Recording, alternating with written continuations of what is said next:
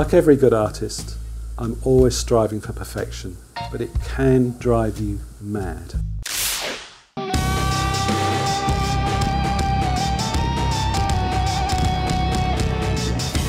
Lartigue's partly to blame.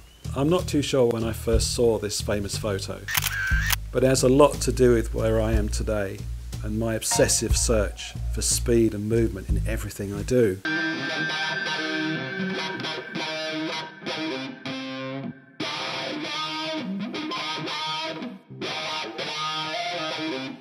That and a mix of about another hundred or so artists and photographers all adds up to where I am today. And as an artist, we're all like sponges. We just soak up everything that we see and use the experiences as we go.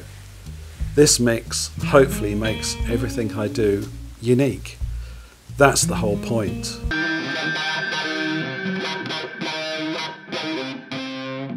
Each of my large bikes takes about six to seven weeks to sculpt and then a further three to four weeks just to paint. It can get really, really obsessive. More art than automotive in subject are more abstract than being realistic. I like to think my work is more at home in a gallery than it would be at a car show.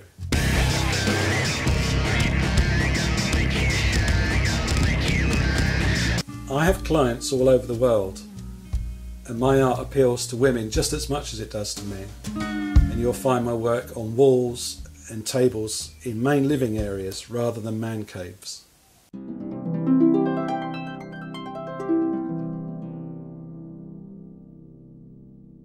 Enjoy.